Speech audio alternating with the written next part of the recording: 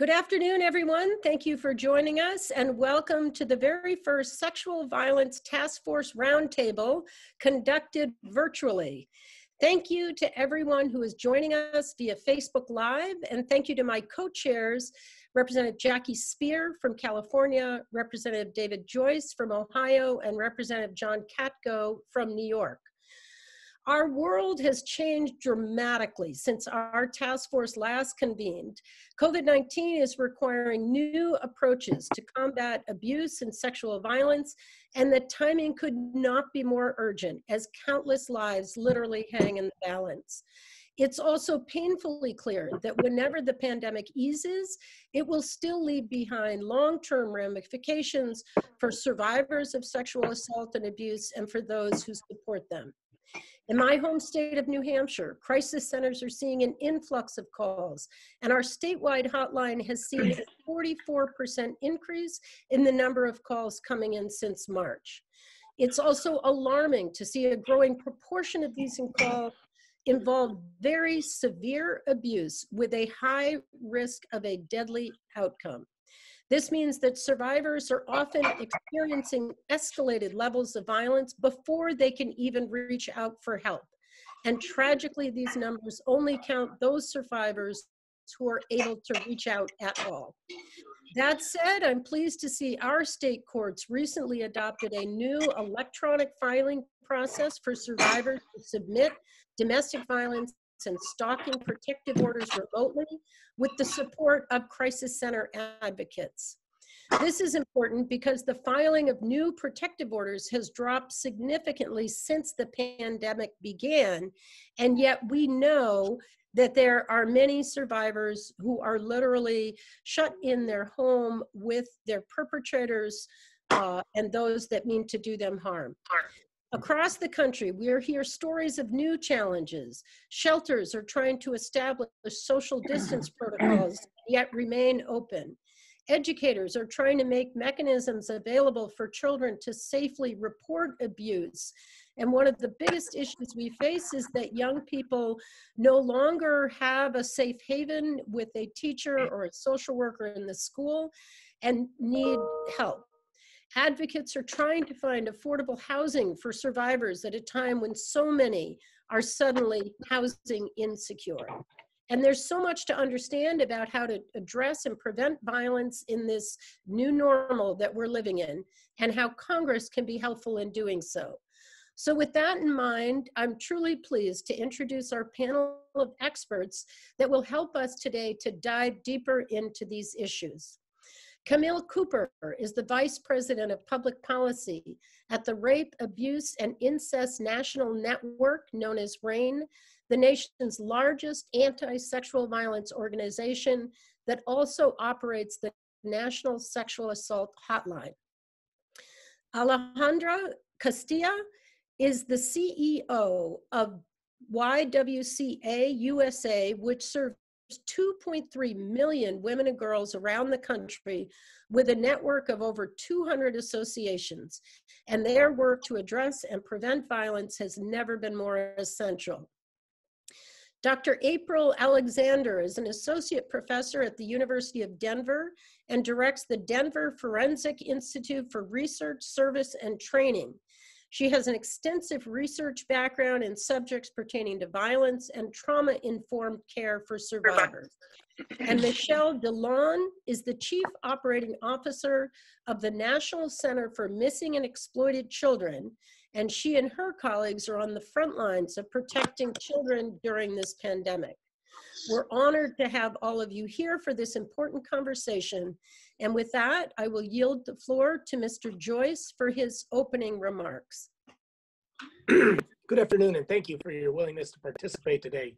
I wish we could all be together in person, uh, but I want to thank Representative Kuster, my fellow co-chairs, Representative Katko and Speier, for ensuring these important discussions are still able to take place. Over 100,000 Americans have died from COVID-19 and millions have lost their jobs. However, the disease uh, vicious impact spreads well beyond these tragic figures. It has left countless women and children at greater risk for sexual and domestic violence. And unfortunately, in an effort to slow the virus, those at greatest risk for such violence have lost access to the resources that are often vital to escaping abuse. So I want to thank each of our panelists for continuing their ever important work during these trying times. I look forward to hearing how Congress can best be of assistance to your agencies and support your efforts to provide victims of violence the resources they need during this global pandemic. Thank you. Thank you. And now Representative Speier, would you like to join us for opening remarks? Um, thank you, Madam Chair, and to my uh, co-chairs of the task force and to our uh, esteemed witnesses who we'll hear from.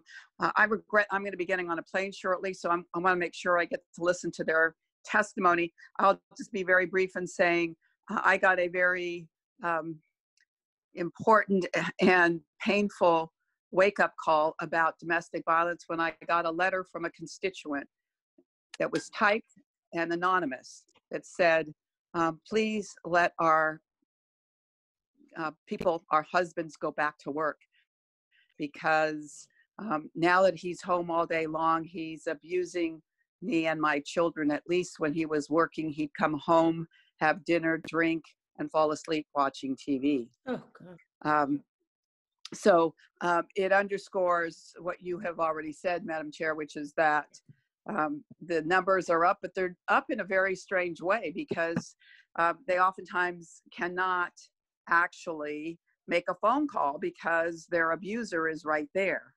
And as we see the numbers of unemployed skyrocket, um, I, I, fear these numbers are going to get even greater. So I hope our our witnesses today will be able to give us some advice on how we can protect uh, families that um, are in this situation now where their abuser is with them 24 7. And with that, I yield back. Thank you very much. And uh, Mr. Katko, would, would you like to say some opening remarks? Sure, thank you very much for having me here. I appreciate it. Um, today's roundtable is critically important to better understand the unique challenges and barriers faced by organizations on the front line during this crisis. And uh, I've engaged uh, repeatedly with Vera House in Central New York, which is on the front lines of this crisis. And uh, I was informed before I got on this call that domestic violence uh, uh, police calls have gone up 12%. And those are ones where they have the ability to call because the, the, person is not in the room or uh, what have you. So I, I suspect that incidents are even higher. in Central New York, like the rest of the country, there's been an increase in both domestic violence and calls to the National Domestic Violence Hotline. At the same time, shelters and crisis centers are facing limitations on available services and resources, as well as restrictions on their ability to provide uh, critical services uh, to the individuals. The highly contagious nature of COVID-19 has also brought about a new net of uh, new set of challenges for staff on the front lines as they work to provide continued service. While I'm pleased that the CARES Act provided critically important resources to address some of these challenges, including $45 million to the Family Violence um, Act, uh, it's, it, it's not enough. So uh, going forward, I hope that we can uh, continue to work together. I look forward to the dialogue here. I look forward to working with my colleagues. It's good to see all of you. And uh, up until recently, I was always with, I hope everybody is, is uh, well and healthy. Now we have to add to that uh, well, healthy, and safe. And uh, I, wish the best to all of you, and I, I yield back.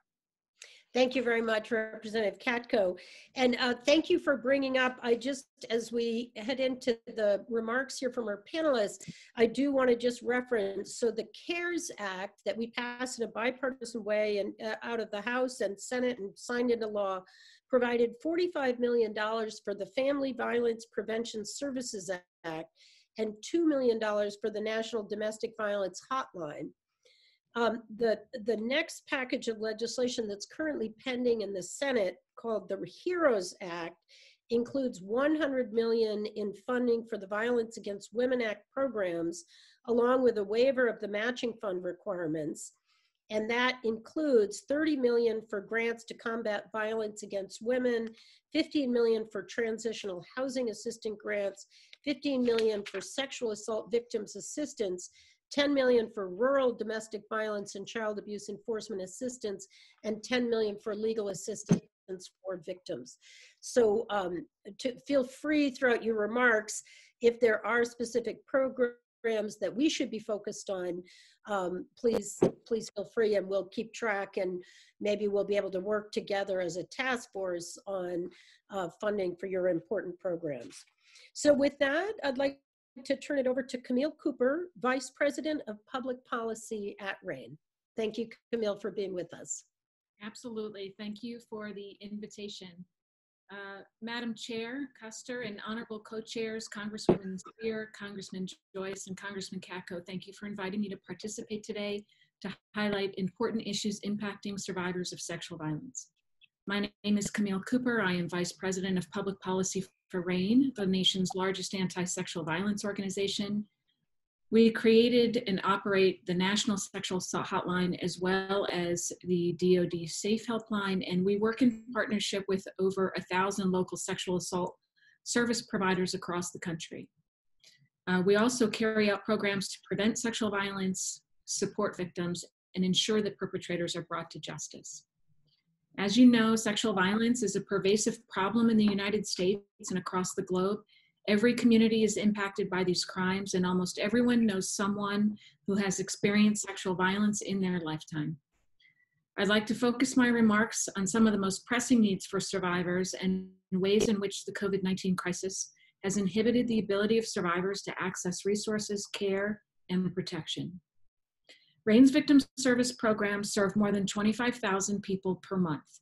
We provide services for anyone who needs them, regardless of their race, ethnicity, gender identity, or age. As states began to implement shelter in place orders in early March, we began to see a very troubling trend on our national sexual assault online hotline. this is the preferred means of con country. In the first three weeks in March, minors, for the first time ever in our history on our hotline, were over 50% of our users. While our hotline is anonymous and confidential, we do track trends in the types of requests being made by users, and that informs our services and also our public policy work. In March, children were seeking help because the majority of them were quarantined with their abuser in the home. They had lost access to critical support structures such as teachers and other mandated reporters and safe spaces such as their schools. Many also said that the abuse that they were suffering was increasing in both frequency and severity. These children described very violent assaults, and one in five of them asked to be connected directly to emergency services while speaking to our staff. Last September, the New York Times published a series on children who had been exploited over the internet. They described an unchecked and flourishing black market for images depicting the rape and torture of children, most of whom are sexually abused and photographed by someone in their own family or circle of trust. So there's a big crossover here between the population we're seeing on our hotline and children that are also exploited online. As a nation, we need to place this epidemic of child sexual abuse front and center and make it the highest priority of all of our collective policy efforts. In addition to children's increased vulnerability and risk during the COVID 19 crisis, adult sexual assault victims were confused about where to seek care, exams, and court orders. They were also extremely reluctant to seek medical care in hospital settings out of fear of being infected with the virus. As a result of local services being limited in an effort to contain the coronavirus, demand for hotline services increased across the board, including for sexual assault, domestic violence, suicide prevention, and crisis intervention. As our nation grapples with how to implement a national coordinated response to COVID 19 and what will likely be multiple waves of infection, we are also challenged to face another crisis, one that is both historical and where the response is long overdue. Police bias impacts everyone. In the sexual violence space, it can be the difference between disbelieving or believing a victim and allowing very serious offenders to escape accountability. Whether it's making sure that we fully fund the effort to eliminate the rape kit backlog or addressing the needs of vulnerable populations and their access to services, we need the support of elected leaders like yourselves now more than ever. Uh, I'll be happy to get into specifics about the, um, the issues and the um, the bills and legislative activity that we're working on with all of you um, during the discussion portion. Thank you for allowing me to participate today. Thank you very much, Camille. And it's disturbing, but all the more important to be having these conversations. Um, I should have said at the outset that we did invite press to join the call. And um, so we will do our best to help get the word out and to come up with constructive uh, solutions. With that, I want to invite uh, Alexandra Castillo. I'm sorry, I said uh, said that wrong before. The CEO of YWCA uh, USA, and thank you so much, Alexandra, for being with us. Good afternoon, and thank you. Thank you, Representative Kuster, the bipartisan task force to end sexual violence and its congressional co-chairs. Thank you for, the invi uh, for inviting me to this virtual roundtable discussion to address COVID-19's impact on sexual and domestic violence survivors and service providers. I'm honored to join my other panelists, Camille Cooper, Dr. April Alexander, Michelle DeLaune, my name is Alejandra Castillo, and I serve as the CEO of YWCA USA. As you may know, YWCA USA reaches over 2.3 million women and girls, as well as families, through a network of more than 200 local associations in 45 states and the District of Columbia. We touch over a thousand communities across this country. We provide critical programs, including domestic and, and sexual violence services, through our 12,500 staff members, as well as 52,000 volunteers. We are the largest network of domestic and sexual violence service providers. Annually, we provide 535,000 women, children, and families with safe and secure housing, counseling, court assistance, and other community safety programs. During these uncertain times of COVID 19, shelter in place restrictions take on a new meaning for victims of domestic violence. Just as you are seeing in the news and hearing from advocates, those sheltering at home face the risk of an additional pandemic, the rise in domestic violence due to social distancing guidelines. With workplace and community closures, many victims are finding themselves trapped in the same quarters with their abusers. Now, the feeling of isolation and fear experienced by victims during the pandemic are further compounded by the economic crises and the recent violence and death of people of color in America due to police brutality. Our clients are scared, but at YWCA, we are committed to keeping survivors safe while meeting the increased demand for services. We are determined to continue being a place that families and survivors can turn to for support. In response to COVID 19, YWCA USA has been regularly collecting survey data from our local associations to better understand the challenges and policy solutions needed to maintain services and meet increased demand. Among responses from our survey of local YWCA associations during the month of April and early May, 61% of YWCA domestic and sexual violence hotlines reported an increase in calls due to the pandemic.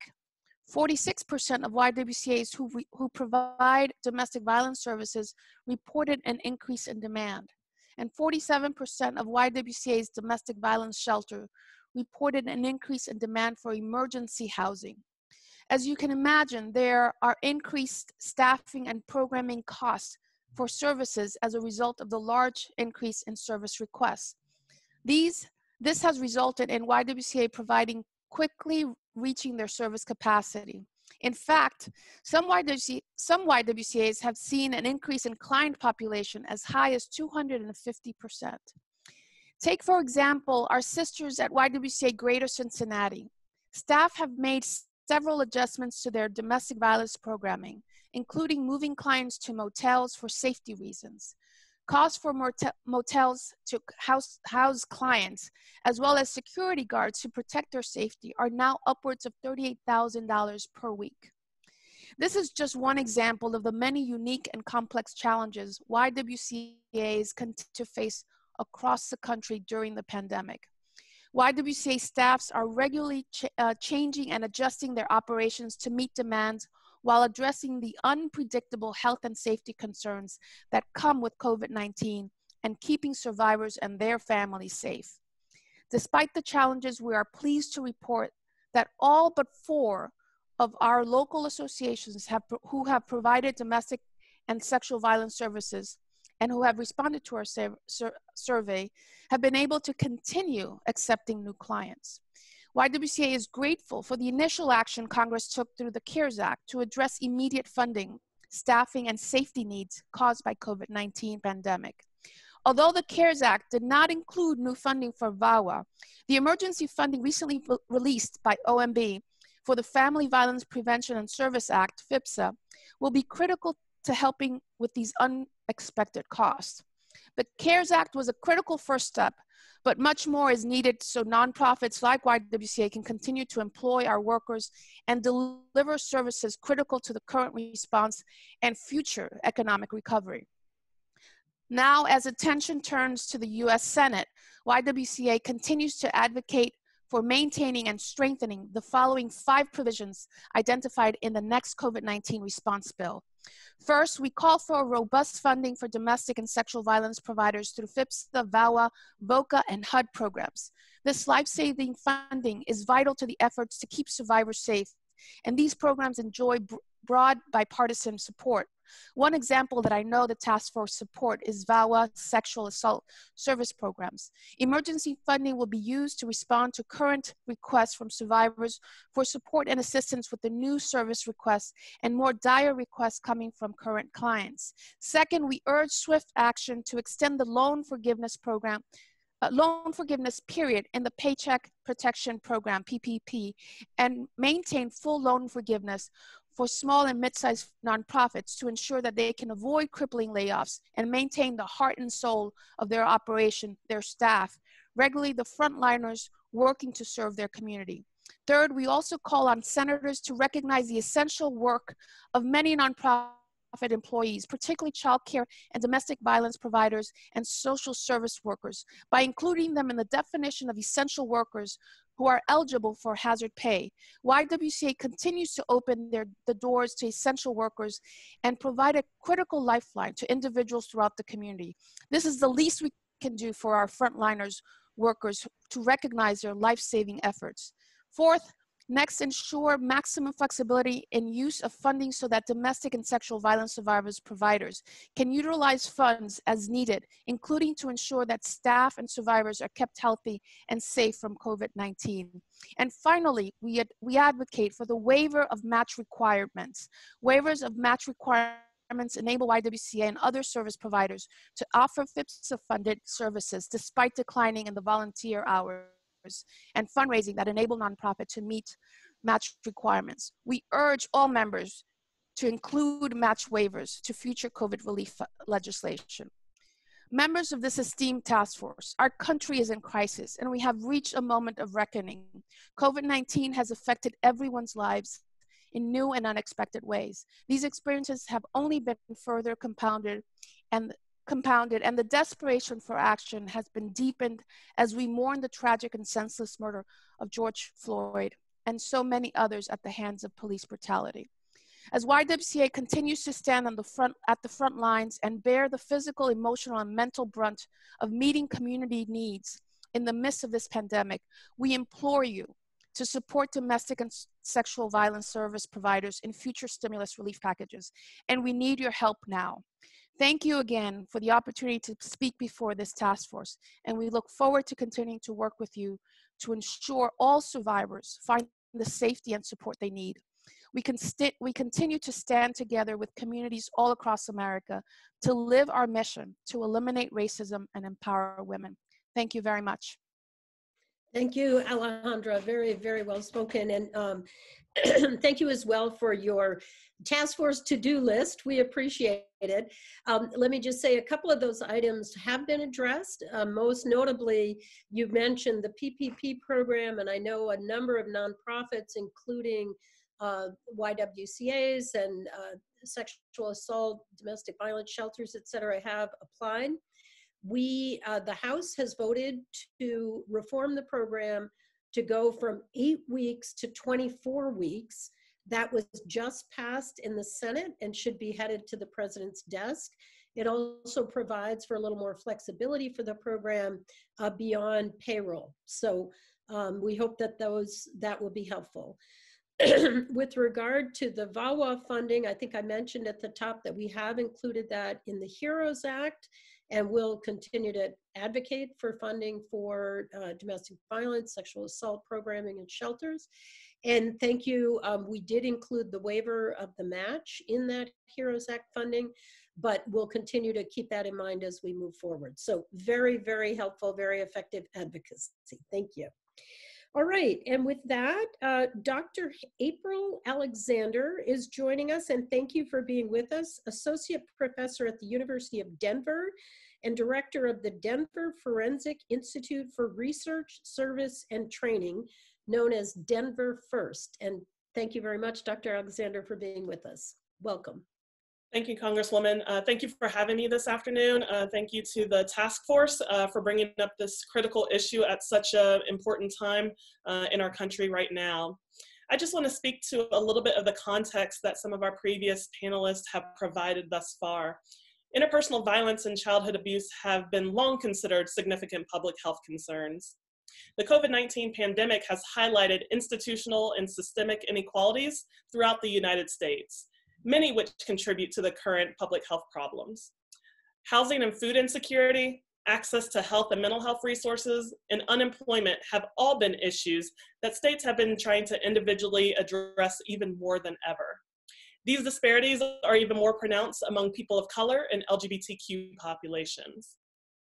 When thinking about interpersonal violence and child abuse, finding ways to provide adequate services and resources to victims during this COVID-19 crisis is really important.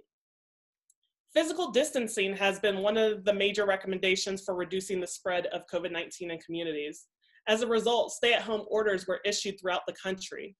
But one of the unintended consequences of these orders was the potential for increase in interpersonal violence and child abuse. Isolation has always been a factor in these cases, and stay-at-home orders increase the potential for harm. In examining the potential outcomes of COVID, researchers have examined other crises, like nat national disasters.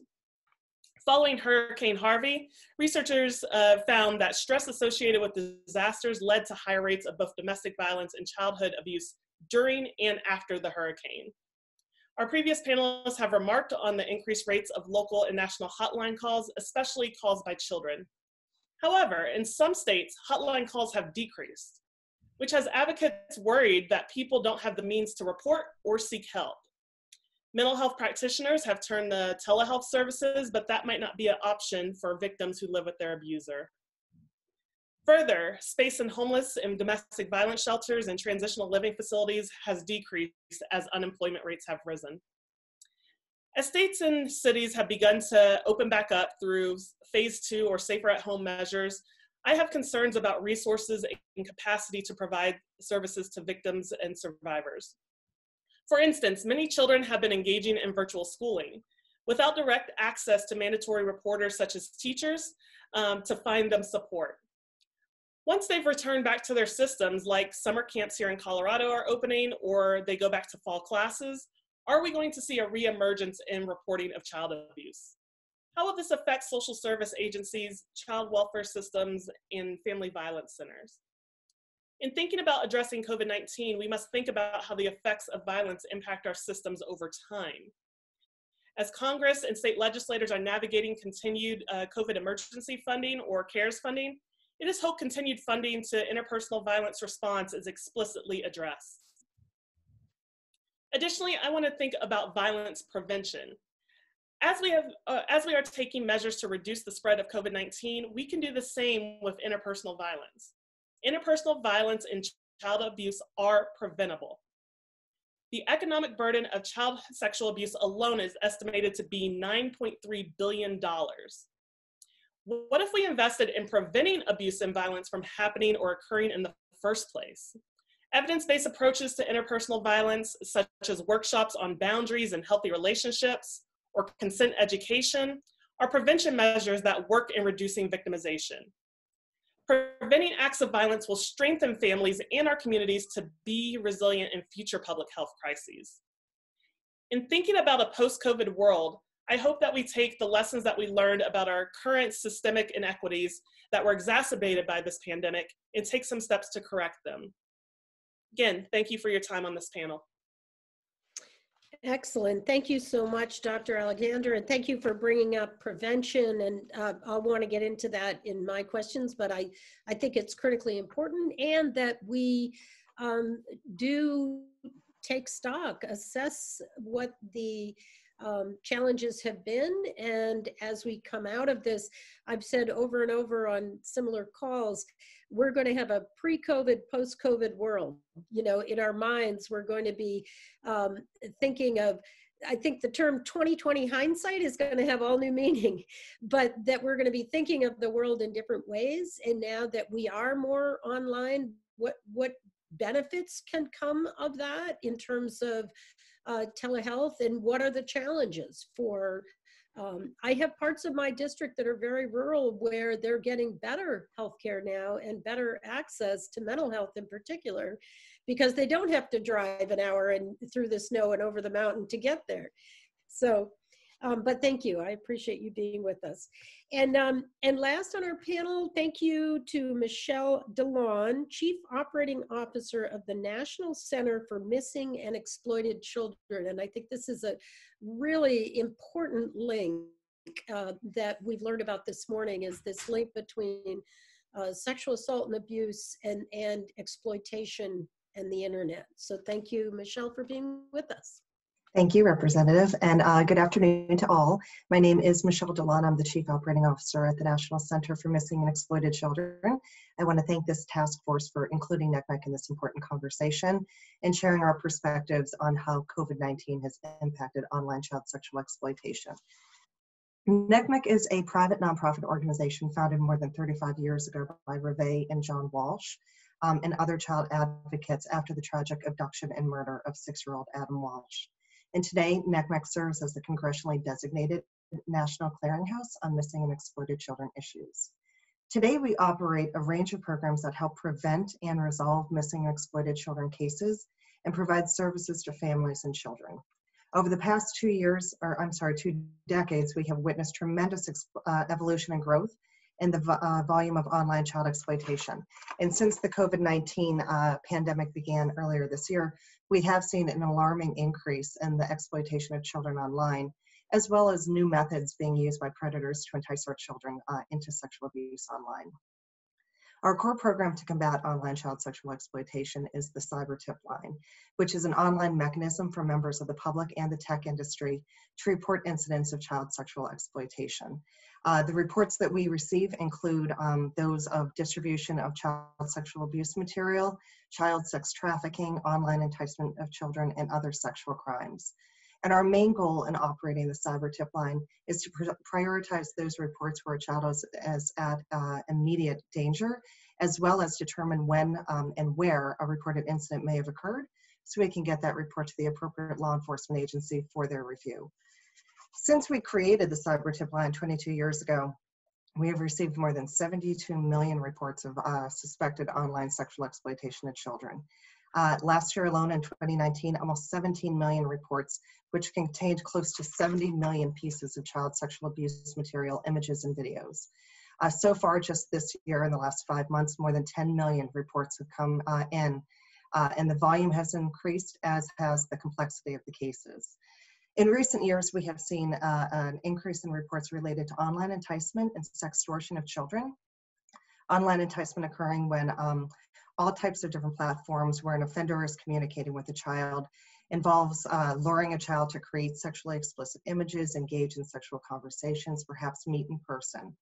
And sextortion is a particularly disturbing form of enticement because the offender actually uses non physical coercion, such as blackmail, to acquire more sexually explicit material from a child um, or engage in sex with that child.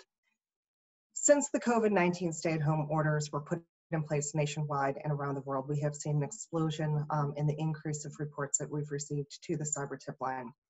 During March and May of last year, with uh, as opposed to this year, we have more than doubled the number of cases that have been received. In fact, in April, um, our cyber tip line reports were 300% higher than they were in April of last year. And we see a, a, number of factors that are actually contributing to this. One, there's a huge increase in the number of people who are staying home, um, which means more people are spending time online and children are spending more time online with school being closed. Uh, that also means that more people are seeing and thankfully reporting uh, child sexual exploitation when they um, witness it.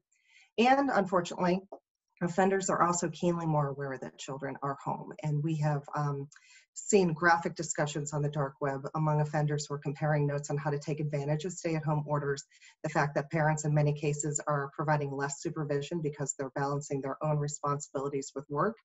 And these offenders are talking about how uh, they can entice and lure children into producing more sexually explicit material.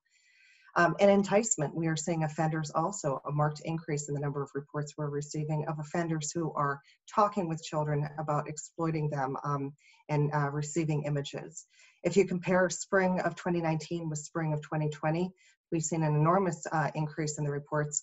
In fact, in April and May, it was 163% more than last year. So what are we doing about it?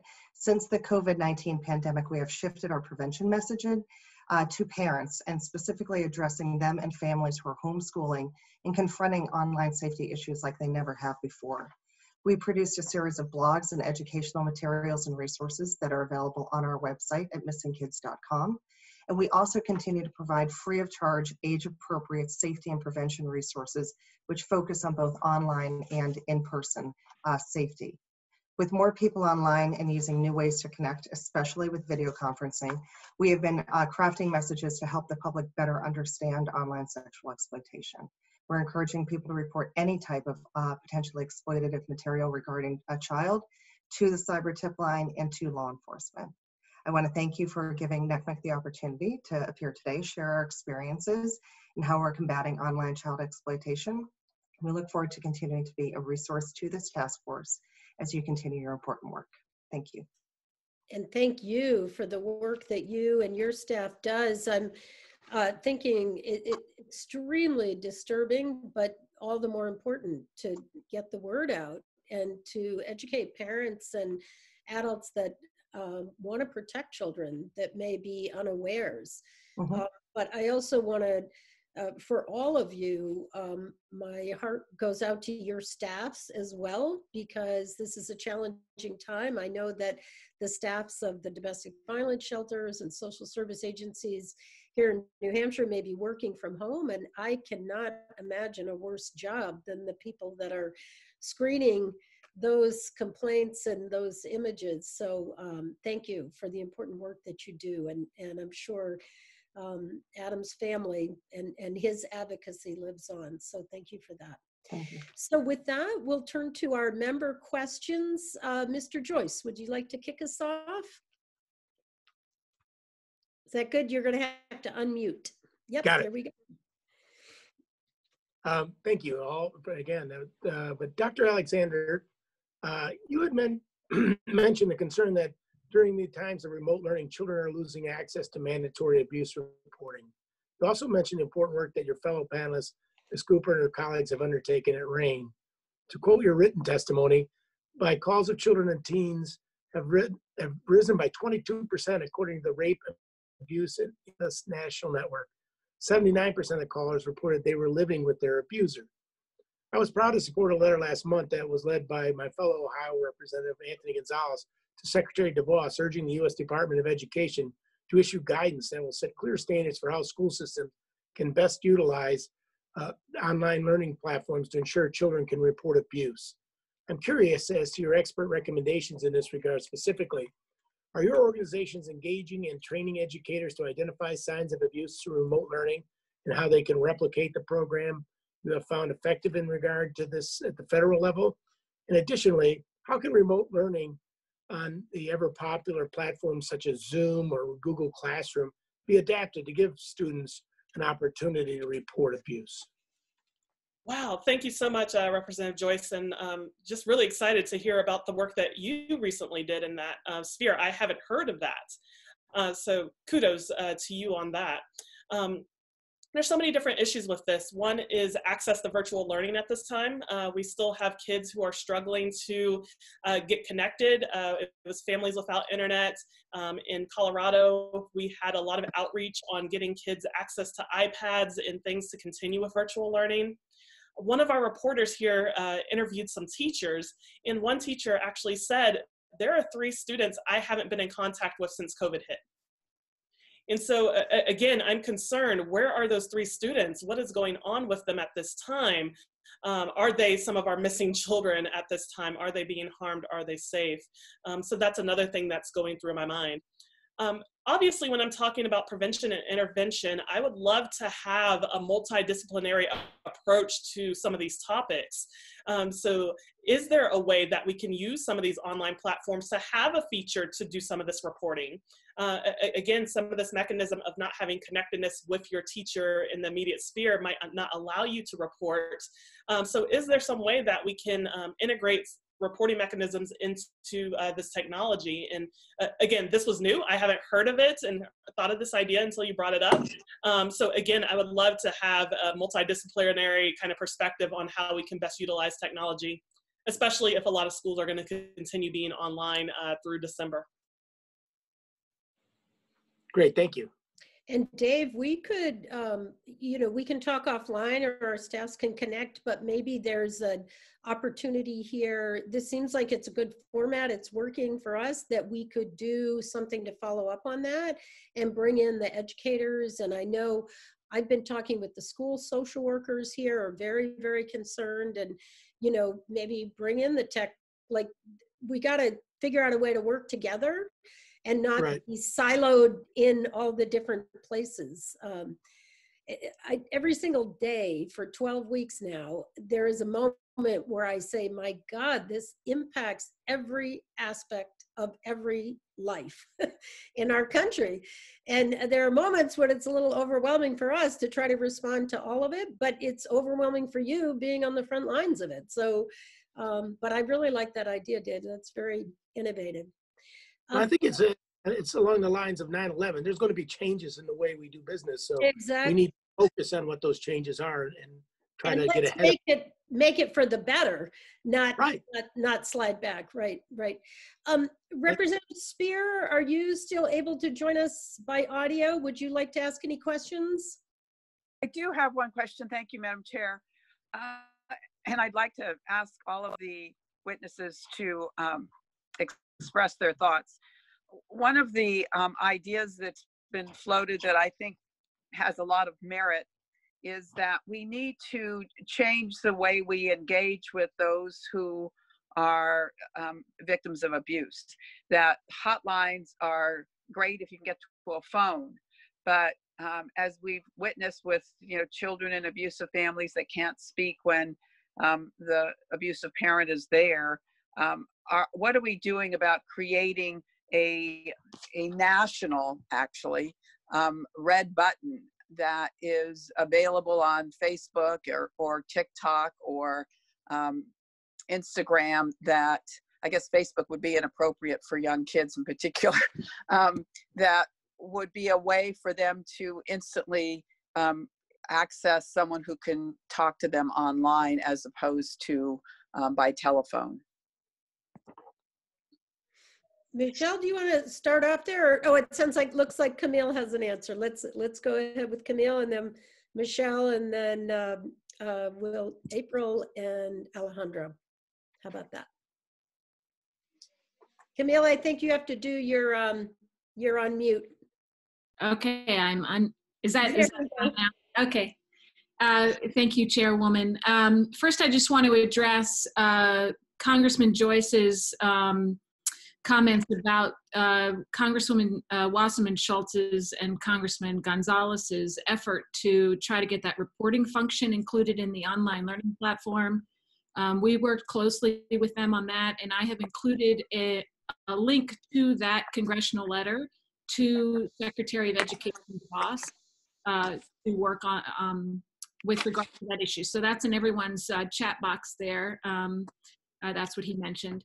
Um, I, you know, Congresswoman Speier, I think that that's a very good idea. I think that children children access our online hotline much more frequently than they are using the telephone to call us. And you're absolutely right that they are there in the home, and the perpetrator is sort of, um, for lack of a better visual image, you know around them and watching what they're doing um, one of the minors that contacted us recently said that she had to pretend to be doing homework online just to talk with us online to get the help that she needed because she did not have access to a telephone.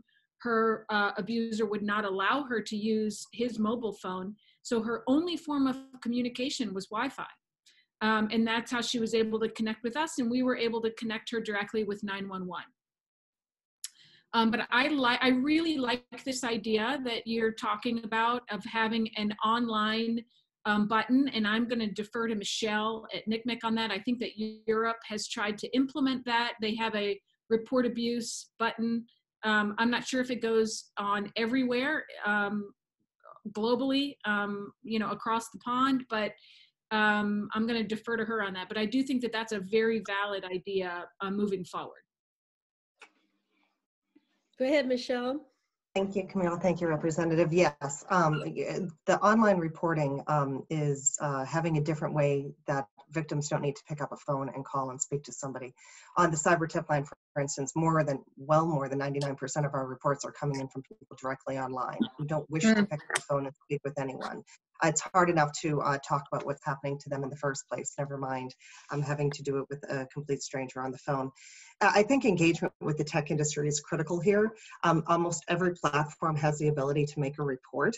Um, however, you often have to search um, high and low and go through a lot of different layers to report. Um, as we also just heard today, there are a lot of different types of um, uh, dangers that are uh, facing families at home and children at home and women at home, whether it be domestic violence, um, sexual abuse, um, you know, uh, anxiety, potential suicide risk. Um, there are a lot of different crises that individuals need to be able to find immediate help. Um, we always encourage and would um, very mm-hmm. much be open to working with anyone in terms of um, finding easier ways uh, cross platforms, not platform specific, that allow people basically to have uh, the ability to go to a crisis point and then find the appropriate to vetted, uh, you know, reputable organizations that might be able to help them in a quick way. Again, we also recognize that many, many people never reach out, make a report or pick up the phone. So we also want to be able to give them helpful information, um, even if they're just looking for it online, so they might be able to take action when the time is correct. Great. Uh, Dr. Alexander, do you have anything to add? No, I'm echoing everything Michelle said. Again, we have to get creative in our approaches and collaborate with the tech industry on how to make this more visible. Excellent. And Alejandra? I'll just uh, again echo uh, everything that everyone has said. Um, I want to also emphasize uh, what Dr. Alexander mentioned in terms of the digital divide is still is still a reality, and, and also being culturally uh, responsive to uh, the needs of communities of color in particular in this in this arena. But i also want to say you know as ywca we have also seen because um, some of our ywcas are still delivering um, school lunches been a, we've still been able to see some of our students and and pick up uh, some some of those telltale signs. Clearly under covid that is uh, restricted but we've we've still because we still have that community touch um, we're still one of those in those organizations that can pick up those telltale signs. But I welcome the collaboration because we definitely need to brainstorm and think of different ways to approach uh, approach these multitude of challenges. So um, uh, I'm ready, willing, and, and very excited to work with all of the colleagues around this uh, virtual roundtable. Uh, Madam Chair, if I, I could just um, conclude by saying, you know, if there ever was a reason to finally do um, universal um, access to uh, broadband, it is now. Yes. Uh, I know that in my district, there are many children that are, even with hotspots, unable to get the education um, that is commonplace in the areas where there is um, you know greater internet service so um, for the reasons associated with um, violence in the home and for just overall educational opportunity and for you know the the rural parts of our country that have not have access i mean i think republicans and democrats can join together on this one and make this a universal um, benefit to all. So I hope that maybe we can join with others in doing that. And with that, I yield back. Thank you very much, and, and uh, thank you, Representative Speier. I, I can't think of a better situated member of Congress to help us in outreach to the um, to the companies, uh, the the online companies, tech companies, and also just want to mention um, I've been serving on Mr. Clyburn's uh, task force on access to rural broadband. Um, we will have, uh, we did have in the HEROES Act, and we will continue to press that going forward. Um, I've been reaching out to the telecom companies, the, the actual broadband companies themselves. And here in New Hampshire, we had a, I was very impressed. They were coordinating with the local school system and trying to identify each child, as you mentioned, Dr. Alexander, there were children that have not been to school since March. There's been no sign of them. And they were working with the school system to identify the family. And I have one company that signed up 300 families in this particular region for free internet access uh, and to make sure that those students can resume schooling. That's not unlimited. Right now, they've done it for 90 days. And yesterday, I was on a call with the telecom companies down in DC to talk about how can we continue that going forward and make sure that every student in America, every household has access. Because between telework, telehealth, and um, teleeducation, and the health and safety and well-being of our of our constituents. So, and with that, uh, Mr. Katko, thank you for your patience. You're next up. Uh, thank you very much, and thank you for convening this. This is um, uh, heartwarming and troubling at the same time. It's heartwarming because of all the good people that are dedicating their their professions to to this noble cause. Uh, I was a 20 year federal organized crime prosecutor, so I dealt with a lot of these cases um, that never ceased to uh, uh, really just tug at your heartstrings more than anything. And I can go on chapter and verse on the types of cases, but one in particular, I remember having to call uh, a 14 year old uh, person who was exploited over the internet by a three times uh, jailed sex offender who's in his trailer in Mississippi, uh, uh, getting her to take pictures of herself and then post them on the internet, then having to call the mother and tell her that her valedictorian, you know, cheerleader, athlete, stu- uh, daughter is all over the internet and she's been exploited. Um, that's just one example of the things I had to deal with. So the NCMEC was a, a big um, part of what we did in our offices. Um, and then, you know, locally with the McMahon Child Advocacy Center, you see a, lot more of that, of what's going on. And uh, we're strong supporters of that. And of course, the Vera House for uh, similar issues with, uh, uh, you know, battered women and everything else. And it's um, abused women. And uh, it never ceased to amaze me how bad it can get. But um, when, when one thing you're talking about and one thing we've kind of zeroed in on in this discussion has really kind of caught my attention more than anything. And that is uh, when children don't have access to broadband, uh, and children are far more tech savvy than us. Uh, we're really denying them access to safety as well as education and, and, and counseling. Uh, I know from this crisis that telehealth has kind of come of age, and a lot more people are, are getting mental health treatment in their homes. And the, the, the, the um, no show rate is dramatically less when people can get uh, telehealth in their homes. So I think rural broadband is a critical component of what we do going forward. I also just add to that that if we have rural broadband uh, and connectivity with everyone going forward, I think it's going to be a heck of a lot easier for the, to encourage these kids through their own devices and not having to call and yeah, tell even on their on a computer or whatever they have to signal abuse without having to tip off the abuser, as you guys have all kind of talked about. So I'd be very interested in crafting some sort of legislation assuming that we get the rural broadband connectivity. And even if we don't, uh, doing something that can that can uh, be a tool for kids, especially that are exploited, to um, uh, to and doesn't have to be kids, anybody, uh, something on the internet where they can they can just go to a portal or whatever, uh, a text number they can go to that they can get they then go to all of you to, to your centers to get help help them get the help. So I just want to hear what you think about that and see what you think uh, about that as a possible solution to this. Great. Again, Camille, you want to start? And then we'll go to uh, Michelle and then April and then Alejandra. Sure, thank you. Um, yeah, I think that um, access to uh, broadband is really crit critical, especially for children's safety. And I think that COVID's really brought that to the forefront of all of our attention where we might not have realized how it was impacting protection for children in the same way that we do now. We have a real appreciation for that.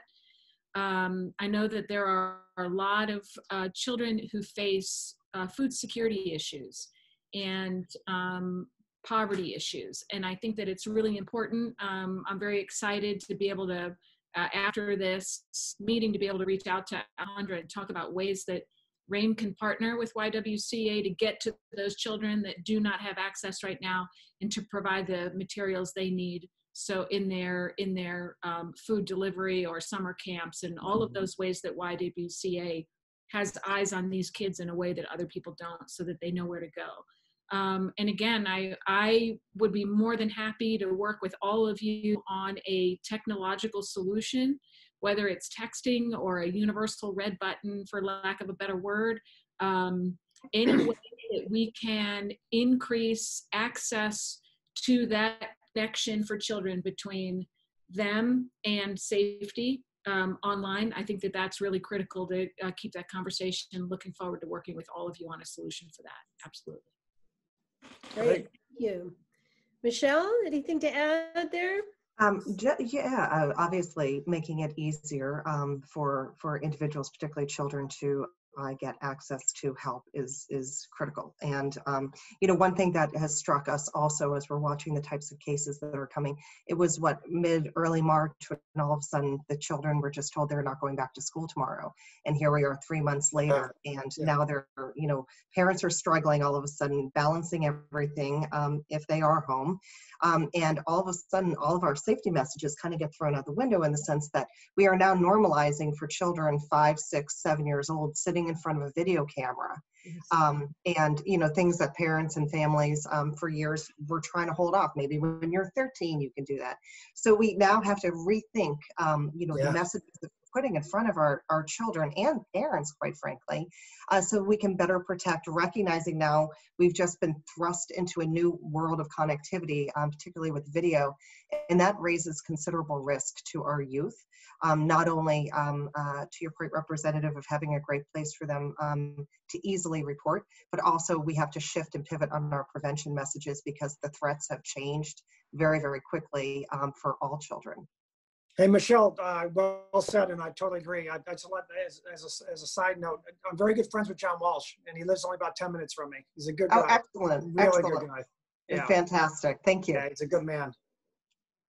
Is that Adam's father that helped yes. to start the organization? Yeah. Wow. Yeah. yeah. I mean, that's extraordinary advocacy to end up with this organization that many years later. That's really yeah, really yeah. Now, he's got me to do a bunch of hundred mile bike rides too. Thank you very much. That's an adventure. Thank you. Uh, April, Dr. Alexander, anything you want to add? Yeah, just um, again, I want to echo everybody's comments so far. Uh, just wanting to know how we can better use our technology for good. Yeah.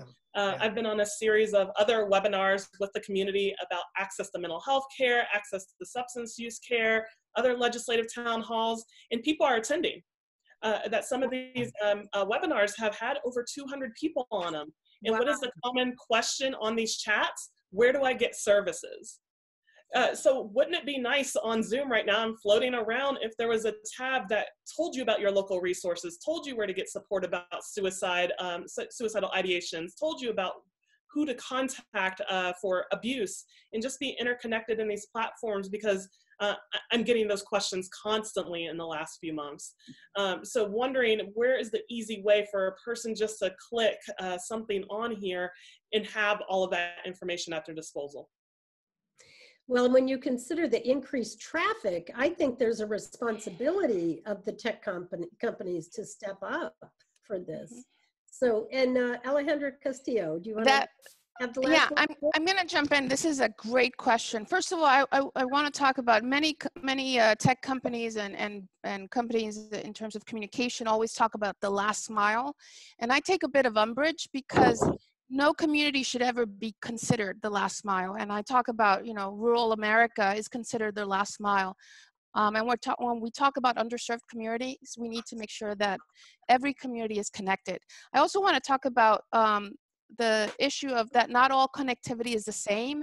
We've had some challenges in terms of platforms that uh, offer confidentiality so that we have secured platforms that can actually allow us to provide the, the requisite counseling and services um, that is not going to be prone to um, any type of uh, security violation or confidentiality violation. But I also want to address the issue of um, technol- uh, technology literacy if we're going to uh, provide uh, more services through technology, how do we teach our young folks uh, about the, the right way to use technology, when to use it, who to trust uh, uh, through that through that process, and then finally, how does the federal government uh, restructure its way to allow organizations like ours to be able to um, re- restructure our programs in a virtual in a virtual sense so that it's not all in person and currently we're still um, the way the federal government is structuring some of its grants is still in a very in-person um, pre-covid mentality so that it's going to take some time to transition but um, there's a lot to be done and a lot of um, issues to address but i'm i'm hopeful and I, and I thank i thank you for that question Well, thank you very much. I think we're getting close to about an hour. Um, thank you, uh, Ms. Castillo, for bringing that up. That's a, another point for us to look at. We talked about that pre-COVID, post-COVID world. And often it's the Congress incentivizing certain behaviors. And I've certainly had a lot of conversations with mental health and with substance abuse uh, providers. The waivers that are going on right now that are offering flexibility are leading to some really successful connections and relationships. Certainly, we've talked about telehealth and mental health. Um, there are some struggles, I, I, think, particularly with seniors. I have doctors that are reimbursed $120 if there's video and audio. But if it happens to an elderly senior that can't figure it all out or, or doesn't have access to the video, they get reimbursed $12 and and so that you know is going to incentivize certain behavior people without video aren't going to be able to get a doctor's appointment and so i appreciate you bringing that up and it's something that we can be mindful of as we move forward with this funding um, I think our task force, first of all, I just want to thank uh, Representative Joyce, Representative Speier, Representative Katko. Thank you to Ms. Dingell. Uh, Ms. Dingell, are you still on the line by chance on audio? No, I think she had to go to something else. Um, we do have uh, dozens of members, so that we're a robust, and I really want to emphasize bipartisan uh, approach on these issues. And I thank my colleagues because our, our legislation is stronger because of that, and we're having greater success. Um, so if you, any of you, members included, have specific ideas for legislation moving forward, please uh, feel free to reach out to Sam Cooper Wall in my team. And we keep an ongoing agenda of bipartisan bills. We encourage all of our members to get a bipartisan college to work toward getting uh, getting these passed into law. And I will specifically follow up with Rep. Speier um, to see if we could convene the tech companies for this conversation. So I think it's a really, really great idea that came out of this. Thank you, everyone. Have a very good day. Please be safe. Uh, God bless. Take care. Thank you. Thank you. Thank you.